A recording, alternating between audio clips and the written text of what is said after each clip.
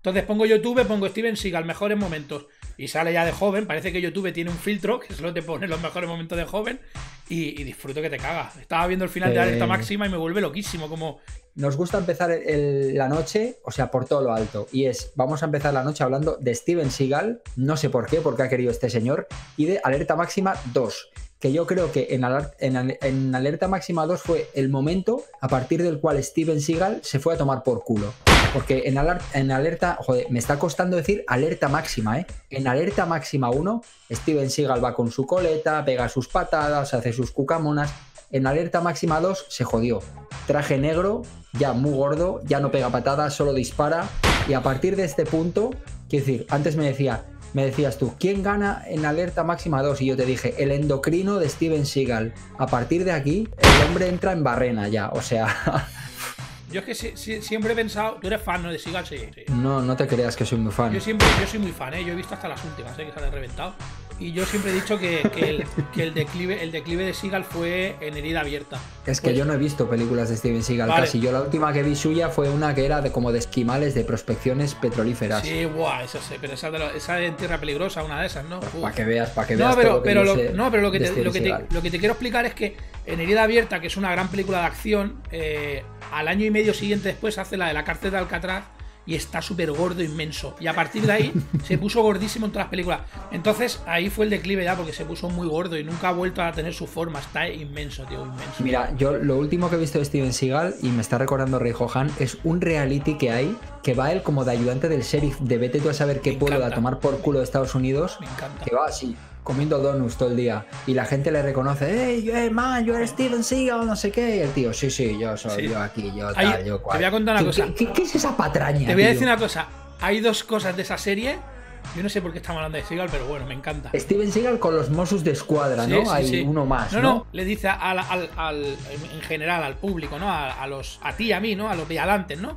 A vialantes se dice. Vialante, vialante. vialante. Le dice, mira, Ustedes me pueden ver como Steven Seagal, la estrella de televisión, o ustedes pueden verme como Steven Seagal, el hombre que puede salvarle la vida.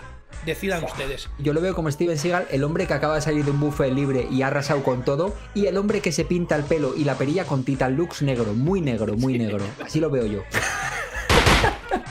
El tío dijo que en una granja había un cultivo de drogas. No sé si sabes la historia. y llegaron las cámaras con el reality para grabar y el Seagal llegó allí con la policía y, fueron con una tanqueta, con un tanque pequeñito de estos. Y tiraron abajo la granja, al suelo, hijo de puta, no sé qué. Y al final era una, pobre familia mexicana y se equivocaron de granja. Y, ese. No, no, escúchame, Axel. Luego te paso el artículo. Y a raíz de ahí eh, denunciaron los mexicanos y le cancelaron el programa Seagal.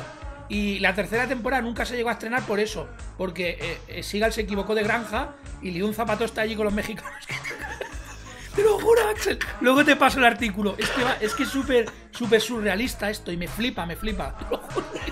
Uah, qué calor me está entrando, joder. Y, escúchame, ojo meterse, meterse siga en la tanqueta, ¿eh? No, no, a ver cómo sale luego de ahí. O sea, volando la tanqueta con otra tanqueta para eh, eh, rescatarlo. y lo último que yo vi de Seagal, sale con un francotirador en la frontera de México, que también puedes ponerlo en Google, y es que estaba eh, evitando que los mexicanos traspasaran el muro para venir a Estados Unidos de, de o sea, voluntariamente eh, como de policía para que no saltara el muro los mexicanos a Estados Unidos. ¿Pero otro reality es esto? No, no, no, esto, esto era real. Esto le hicieron una entrevista en el diario y él iba voluntariamente los fines de semana a ayudar a la policía porque había muchos mexicanos, mucha inmigración y no daban abasto. Y sale Seagal con un francotirador ahí en las puertas de México. De todos los machomanes estos de acción de Hollywood, Steven Seagal es con diferencia el más chatarrero de todos. El más chatarrero. La única puta película que ha hecho que le ha dado un poco de fama es Alerta Máxima. A lo único que se dedica en todas sus películas es a romper rodillas, a romper tobillos, a romper codos. No sé si el tío es accionista en una, en una tienda de ortopedias o qué, porque tiene mucha fijación con coger...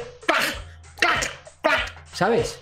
Es que Van, bueno, Damme se ha dado, mucha caña. Steven Seagal en el buffet libre y Van Damme en el callejón de atrás de su casa, ahí pillando, pillando cosas. Eso te iba a decir que te has dejado a Mel Gibson, tío. Sí, pero no, no, no, no lo encasillo en acción solo, tío. No, a ver, tiene, tiene más perfiles. O sea, gracias a Dios es un hombre que ha hecho otro tipo de películas. El otro día que estuvimos hablando, Axel, de señales, o sea, que hace un papelón en señales y no, no pega ni un tiro, ¿sabes? Hace de cura, tío, ¿qué me quieres? ¿Tú te, tú te imaginas, ahora eh, vamos todos a imaginarnos la película Señales de M. Night Shyamalan Adam, que es una película que a mí me gusta muchísimo. Imaginaros, vamos a quitar a Mel Gibson de protagonista de cura y vamos a poner a Steven Seagal.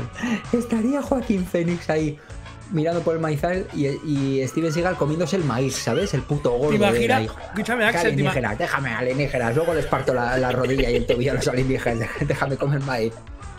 Escúchame, ¿te imaginas el plano aéreo que se ven se ven las señales de los ovnis y, el, espectador dice, no, las señales es Steven Seagal que está inmenso. La, señal, las marcas del maizal las ha hecho Steven Seagal con culo, tío, ¿sabes? Al pasar por allí, tío.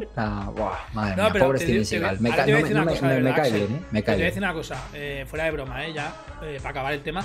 De verdad, no sé cómo lleva 20 o 22 años, lleva del, del 2000 o así tan dejado, tío. O sea, de verdad, yo no sé cómo con 48, 49 años se dejó tanto y está tan inmenso, tío. Es que no, no, no lo entiendo. Un tío que vive de su. Me encantaría, me encantaría verle en Mi vida con 300 kilos, este programa de la tele que la peña delgaza, peña súper gorda que van donde, donde el doctor no usardan. Me encantaría en, un reality de estos ya mega acabado, mega hecho polvo, ¿no? Y allí que le, de estos que les meten en una camilla eh, que no caben ni en la ambulancia, que los llevan en un tráiler, ¿sabes? Ahí el Steven Seagal, ¿no? con su pelo, con su pelo teñido de negro y tal, amenazando a la gente ¿eh? que les va a partir el pie y la rodilla, pero no puede ni moverse, ¿sabes? Así como el tipo ya va a dejar. No, es que ya tiene casi 70 años, ojo, eh. Ojo, eh. Alerta máxima 3, ¿eh? En un avión y subiendo la ocupa tres asientos. no sube, que no sube el avión con Steven Seagal.